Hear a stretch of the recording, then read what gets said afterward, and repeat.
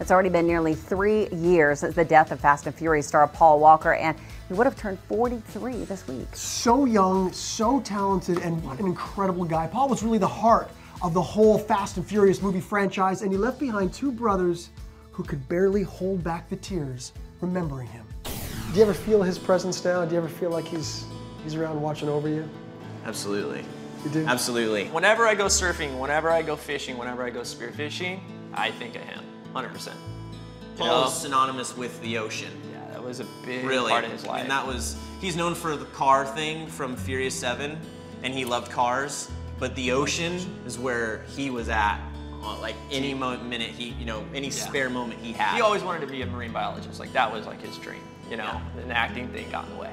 yeah. It's been a long day without you, my friend.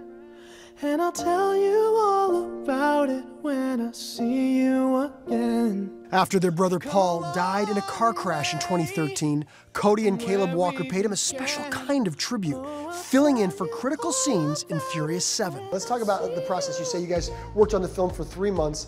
Um, how did that work? A lot of it was the angles. It really was. A lot That's of it was what the it came angles. down to. Uh, first off, we had about six weeks to put weight on because when Paul, right before Paul passed away and when he was filming that movie, he he got real big. We both put on about 12 pounds first off, Yeah. so we had to do that. We each have like a little bit of each other. Like I have really nice ears, and his ears stick out from the side of his head. so when they I knew he was gonna bring that when they get they when they do straight on, Caleb, you know, they had to tape his ears back.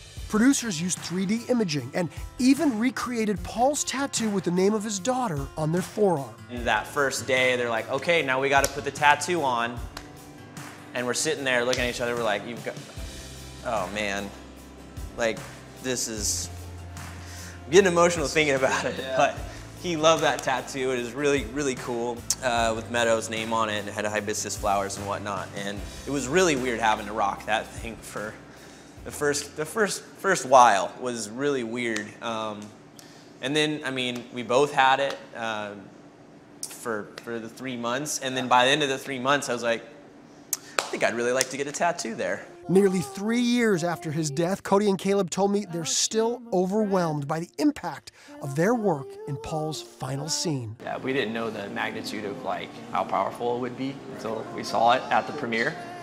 And uh, we both sat there and we cried for about five minutes before we got got up out of our seat. they did it that well. When I see you again. I can't even imagine. Okay, that's got to be so tough. And Cody and Caleb are, are so committed to carrying on Paul's legacy. They're holding a fundraiser for his charity, which is Reach Out Worldwide. The event's called Game for Paul. We're gonna have giveaways. Like we've got like Xbox One, you know, the new Slim systems. Such a great event for a great cause. And make sure you check it out tomorrow. It is streaming live.